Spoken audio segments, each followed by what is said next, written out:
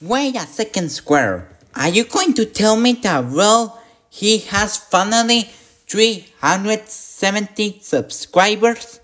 Yep, that's right, Circle.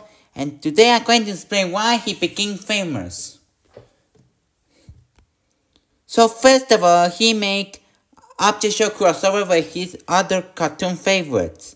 Well, he made Object Queen Super Cool with True and the Rainbow Kingdom, Battle for Bebo with Bebo the movie, Battle of Idiots Freeboot with with other cartoons, and Ultimate Daily with The Amazing World of Gumball. He stopped making it because he felt bored to do. But right now, he's trying to make more popular his channel, making ultimate cartoon crossovers, viewer voting stars content. Oh, I hope that everyone loves the cartoon. So yeah. Huh?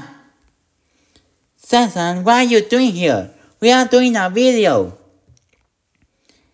Oh, sorry guys.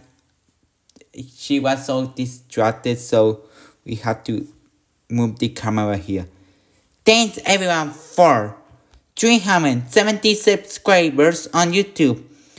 And I hope we get more on the future.